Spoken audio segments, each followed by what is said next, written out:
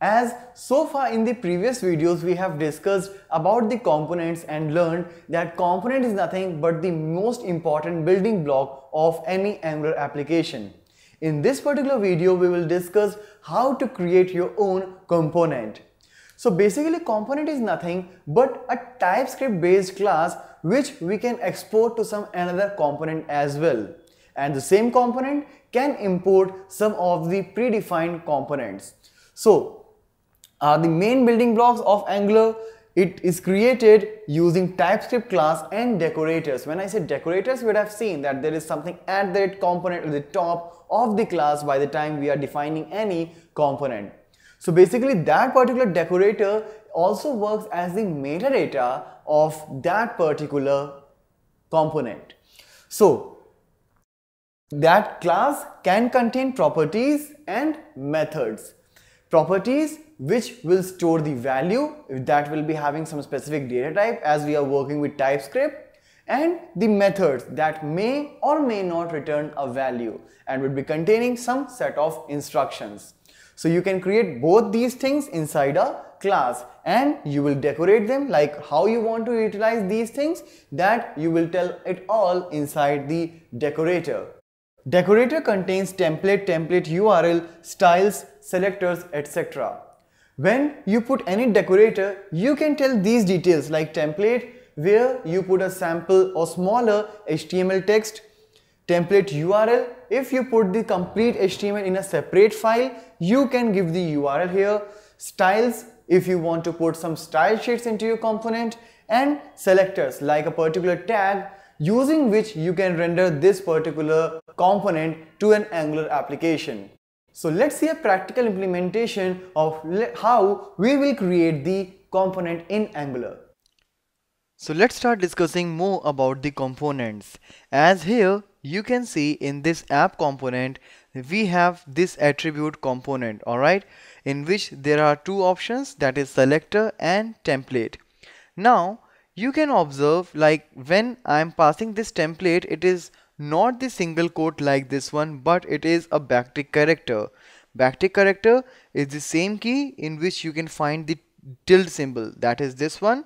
So in the same key if you will press it without the shift button you will find this backtick character.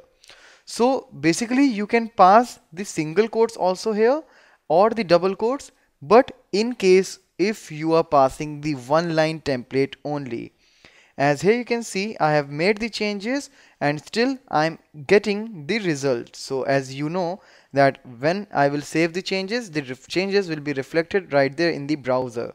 So you don't have to worry much about refreshing the browser. So as here you can see if I'm passing single quotes even then it is running fine. But the moment you will separate this one to the multiple line it will stop working basically. So let me save it now. And as soon as I will save it and it will be refreshed you see it is just showing me loading and nothing else. If I'll press F12 to see the console you will find a list of errors right there. Alright that is the unexpected token. So in that particular case you will not be able to mention it. But again if I will replace this single quote with the backtick characters like previous and will save it? Again I will start getting this page in the proper way as I was getting it earlier as you can see it now. Similarly if you want if you have a big markup here big HTML which you want to pass as a template then in that particular case it is suggested to create an different HTML page. Alright so let me do one thing. I will just copy this HTML. Let me at least cut this. And we'll create a new file here. We'll paste the same semantics. Alright. And let me put some more things. And let's save that in the same directory with the name app.component.html you can't change the name of this alright? You will have to keep it in the same name. I will tell you why. So I'll save it as an HTML file. So here is the HTML option. So let me just save it. And now it is saved alright? So as you can see I have made the changes. And now we'll have to do one more change. That is I will change this template to template URL with U in caps alright? And right after that I will have to pass the path of this. So how will I plan that? Let's see the folder structure for that. So basically this is my index.html inside this we have app and inside this I have app.component.html so that is what we'll have to do. App slash app dot component dot html.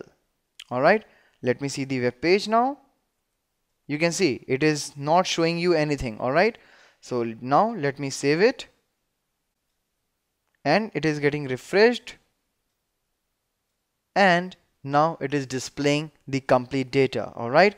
So basically it is taking the things from this component.html alright? From this web page so as I said if it is a small markup you can just pass template and you can put all the semantics inside the quotation or you can just pass the complete markup in a separate HTML file and you can browse it from here using template URL option. So this is about using the component in Angular.